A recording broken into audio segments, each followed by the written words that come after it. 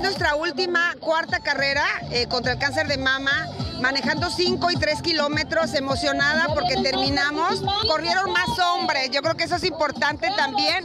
Vamos a hacer otros proyectos, sí, las carreras las dejamos ahorita, es mucha logística, muy pesado, pero es hermoso despedirnos con broche de oro, donde pues la idea es apoyar a esa mujer que no tiene los recursos para, para hacerse un diagnóstico oportuno, que es por lo que luchamos, ¿no? Hacer la cultura, la exploración, eh, pláticas en escuelas, en empresas